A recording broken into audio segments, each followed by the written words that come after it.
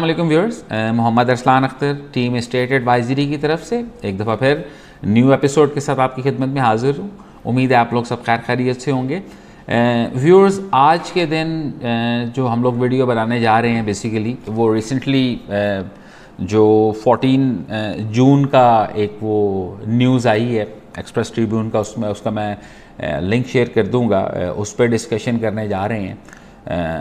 जो डेवलपमेंट करने जा रही है पंजाब गवर्नमेंट स्पेसिफिक रावलपिंडी के बारे में उसमें तीन चीज़ें हम लोग डिस्कस करेंगे। उसमें प्रायोरिटी वाइज अगर आप देखें तो सबसे पहले धदोचा डैम है। धदोचा डैम का डायरेक्ट लिंक बनता है डीएचए वैली से।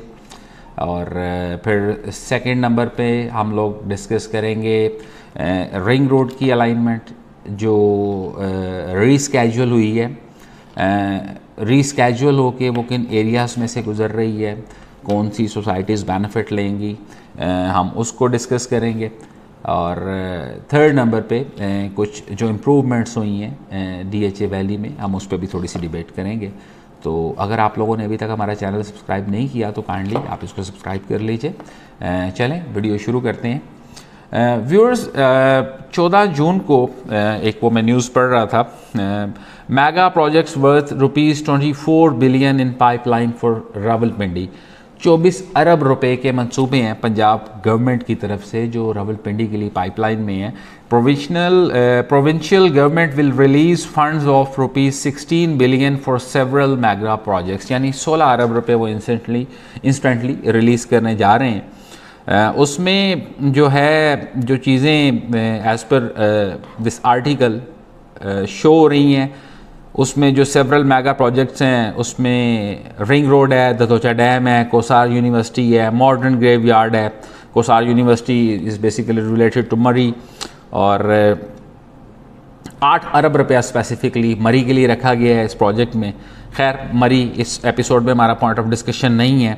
और again according to the details the ring road project will now be constructed from GT road to Thalian motorway which was the alignment marked out when Shahbaz Sharif was Punjab chief minister ring road की alignment reschedule करके इन लोगों ने वही कर दी है। जो शहबाज शरीफ साहब के दौरों को दौरे हुकूमत में थी वो अलाइनमेंट क्या थी?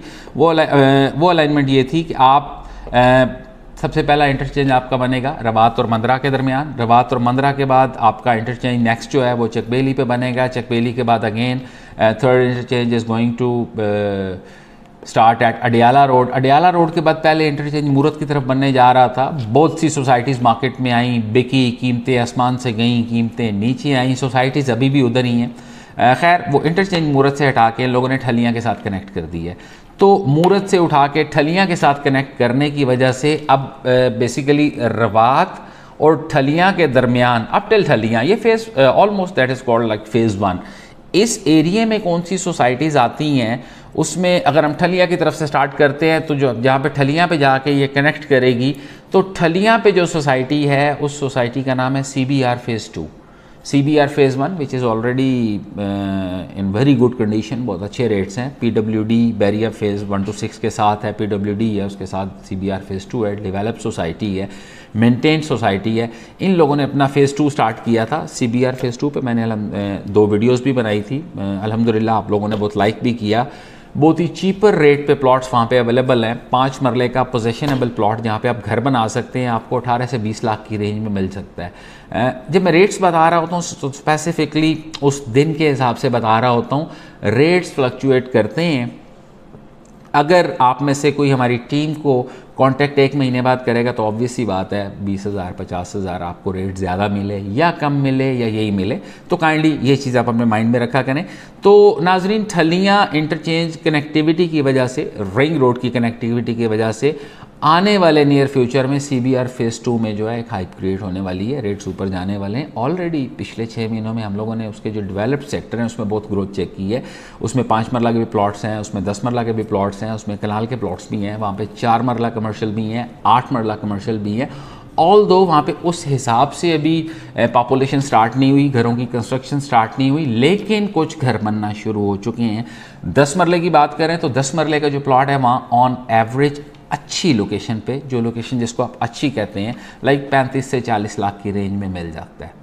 Uh, कुछ कैटेगरी से ऊपर भी हैं लेकिन मैंने एक एवरेज आपको आइडिया दिया है। अगेन अगर आप कनाल की बात करें तो कनाल फिर कंपैरेटिवली महँगा है। कमर्शियल्स की बात करें कमर्शियल्स अभी बहुत रिजनेबल वहाँ पे मिल रहे हैं क्योंकि अभी घर बनना शुरू नहीं हुए उस तरह से कमर्शियल एक्टिविटी शुरू नहीं हुई। सी बी आर वालों ने अपना हेड ऑफ़िस बनाना वहाँ पे शुरू कर दिया है मेन उनकी मस्जिद बन रही है। मैं कोशिश करूँगा आने वाले दिनों में आपको वहाँ पे लेके जाऊँ, आपको उसका विज़िट कराऊँ।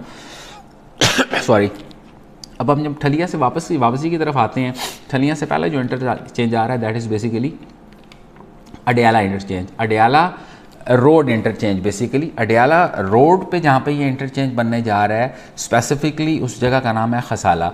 मैंने अपनी गुज्त वीडियोस में भी बताया था कि ये इंटरचेंज रीलोकेट नहीं हो रहा। दोबारा आप तो खैर मैं ये रेफरेंस डाल दूँगा। जो न्यूज़ की कटिंग है, उसका लिंक डाल दूँगा यू कैन वेरीफाई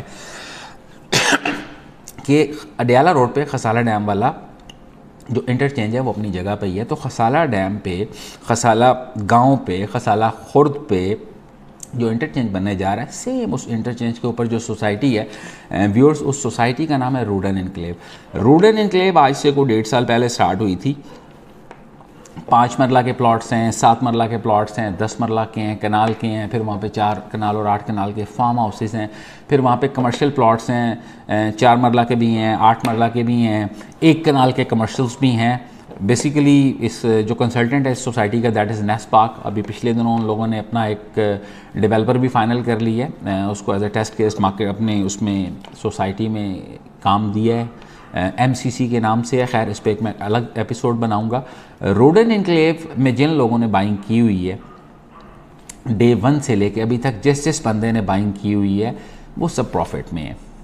अगर हम फार्म हाउस की बात करें तो फार्म हाउस पे इन लोगों ने स्टार्टिंग पे जो रेट बेचना शुरू किया था, पैंसठ लाख रुपए का फार्म हाउस था। तो इस वक्त ऑन एवरेज एक फार्म हाउस पे पंद्रह लाख रुपए से लेकर पच्चीस लाख रुपए तक प्रॉफिट चल रहा है डाउन पेमेंट के साथ।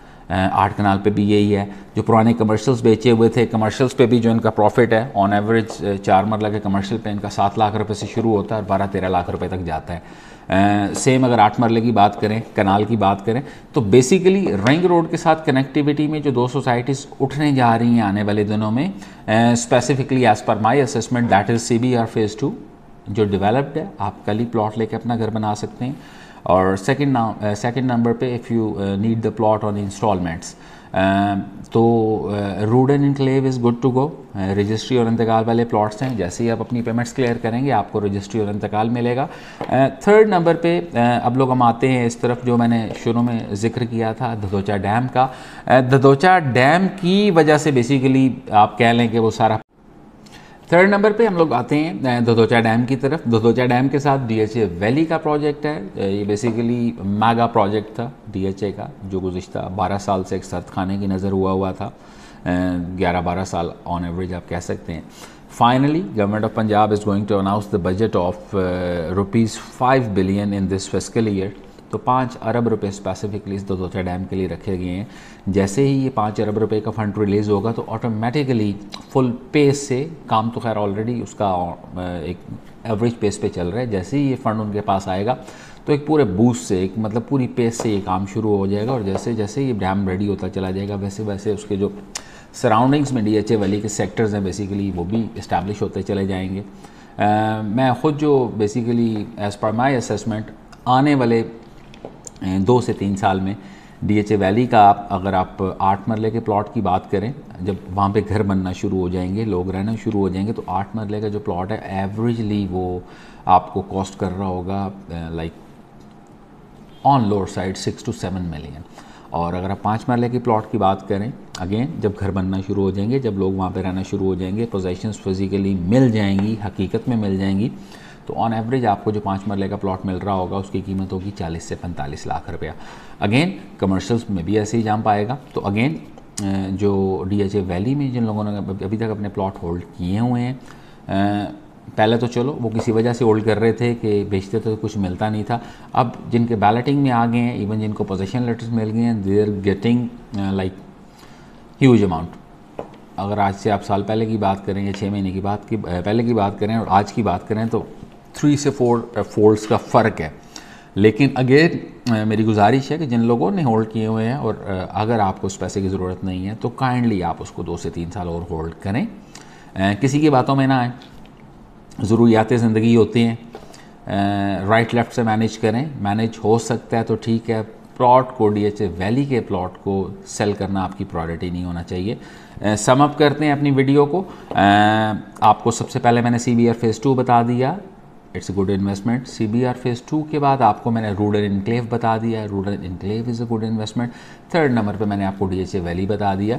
फर्दर आप इन तीनों में से किसी के बारे में भी आप फर्दर इंफॉर्मेशन लेना चाहते हैं गाइडलाइन लेना चाहते हैं सिंपल डिस्कस करना चाहते हैं you can directly call us we will assist you अपना ढेर सारा ख्याल रखिएगा। इंशाल्लाह नेक्स्ट वीडियो में मुलाकात होती है। अस्सलाम वालेकुम।